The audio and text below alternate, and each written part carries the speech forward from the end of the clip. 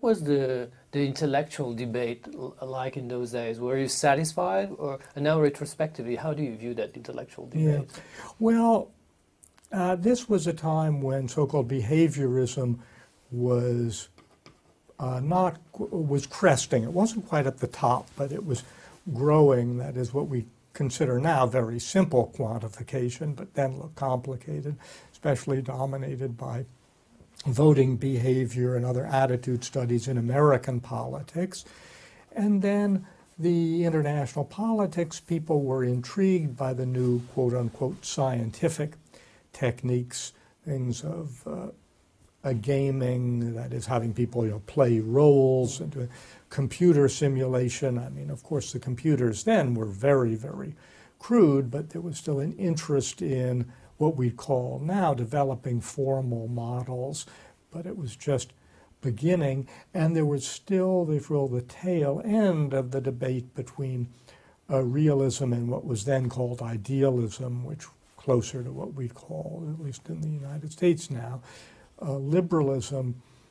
But at this point, by the mid 1960s, some of these academic debates overlap with and were overtaken by the strong political debates about Vietnam, because uh, and, and, by the strong debates about what was happening on university. But what was happening in the real world of politics very, very much spilled over into the university. In 1964, the fall of 64, there was the free speech movement mm. at Berkeley, and I was very active You worked uh, with uh, with Goffman. Yes, yes. And, uh, and and then, as you say, I mean, you also interact with historians. Yes. You're also one of the leading members of the political psychology community. Yes. How do you combine those different yeah. elements, and how did you go from one discipline to the other? Yeah. Well, for me, it was easier to do then because yes. the space was smaller. Uh, just the amount that was written. But I got into a strange way. And again, it grows out of politics. And I, I think that my academic work and those of my colleagues is uh, both influenced by the politics of the time, but not, I hope, a direct uh, response to my political preferences. And, but it, it's in the atmosphere, it affects you. And of course, the big debate in the early 1960s was on relations with the Soviet Union. And there were two broad schools of thought, which today we call hawks and doves. And you know, the base was obvious. For hawks, the Soviet Union was aggressive, and we needed deterrence and threats. For the doves, essentially the Cold War is a combination of structural factors, uh, what we now call the security dilemma, and a misperception. But it was not seen quite that clearly, and partly by hearing a series of debates between Tom Schelling and Anatol Rapoport, I came to the conclusion, which I still think is right, that a lot of the debate was not over general theories, but over images of the Soviet Union and beliefs about Soviet intentions.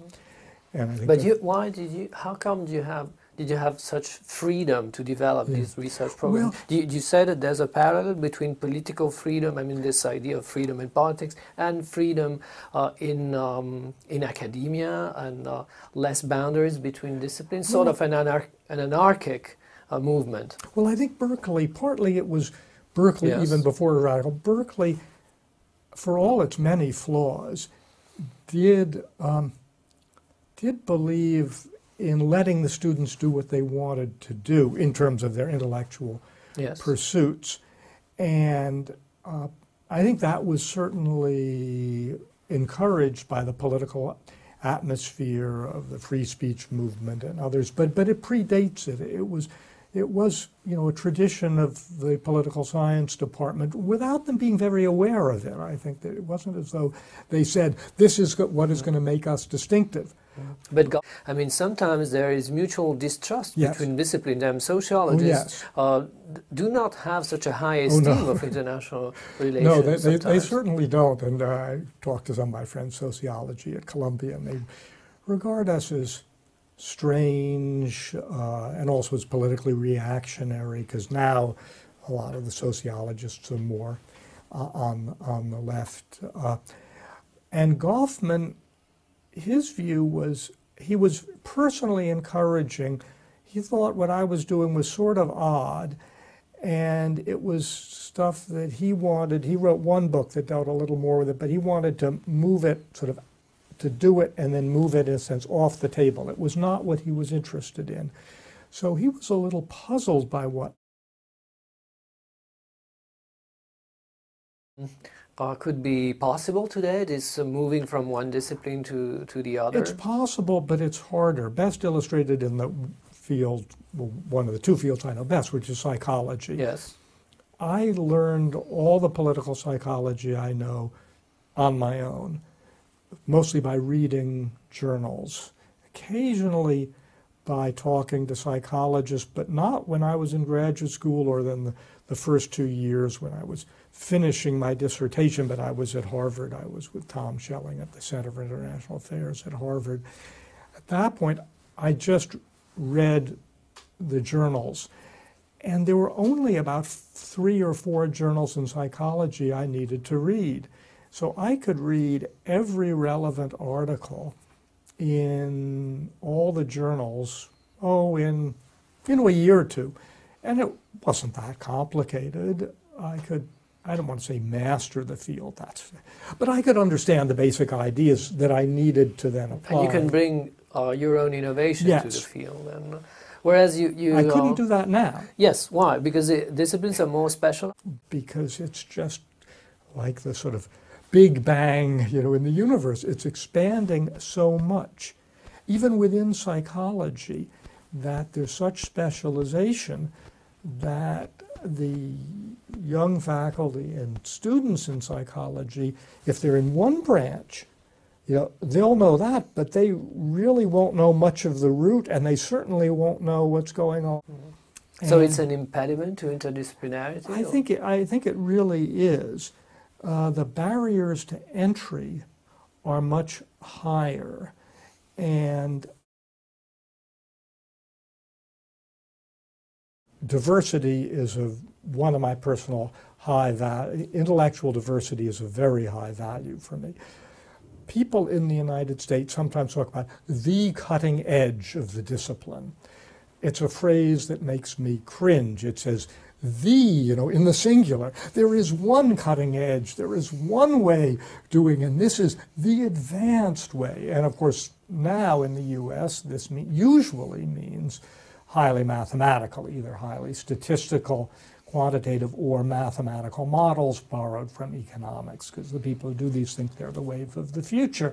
The financial crisis has shaken them a little because it shows the foundations of economics are a bit weaker, as those of us who did political psychology have been trying to say for years. But anyway, um, so, uh, and what, one of the things that worries me about American academia is that the pressures from some people to narrow, to say, here's the cutting edge. You can't do quantitative, you can't do, excuse me, qualitative work. You can't do historical work. You can't do case studies because it isn't scientific enough. I think you know there are all sorts of ways in which the field is exciting and in a certain sense advancing. And so I think it's very important, worth first in the U.S. and I'll come back internationally, to say encourage a great deal of diversity. We just don't know what approach. You think that we need a new Berkeley uh, for the future of academia? Well, now that I'm a, a, professor, I regard sort of student, uh, shall we say, uh, uprisings a little different than I did then. But yeah, I, I do think that, and that. Not sufficiently tolerant of um, intellectual diversity and not willing to take chances enough. Not willing enough to take chances. It's very hard to take chances because it means you can fail. Careers can fail. You can hire someone who isn't going to work. And a strength of the American society and academic scene traditionally was uh, lots of chances to fail, but not fail completely because you could get back on, you could try again. Some of the best students we've had at Columbia from years ago had really quite poor undergraduate records. But because we had a system of taking lots of students, they could still get in graduate school if they could afford the loans. And now it's much, that possibility is much less. And it's, if you, so to speak, fall off the ladder, fall off the path, it's harder to get back. So it means it's harder to take risks. And that, that's very, you know, that's very unfortunate. So you should encourage risk taking. And uh, uh, do you think that so the best profile would be uh, uh to have uh, foxes instead of hedgehogs? Ah, yes, and of course you think of the marvelous book, book by Phil Tetlock. Uh, you know, on the yeah, and Isaiah Berlin. I prediction. mean. Uh, yes, I think that, uh, but on an individual level, some individuals can be hedgehogs. That's fine, as long as there are different kinds of hedgehogs out there in the in the field. But it's a problem. I don't. I worry. I, I, I'm not sure I encourage my students to take risks because if they take a risk and it fails, they've just lost their careers. So, you know, I feel very torn. I would like to encourage them to take risks. I put it this way, if they come into me and say, I want to do this, I know it's unusual, but I'm really interested, I think it will work, I at least want to try it for a year, I will definitely encourage that. But when a student comes in with something that's an odd topic, or odd approach, I have to say, you know, I think that's interesting.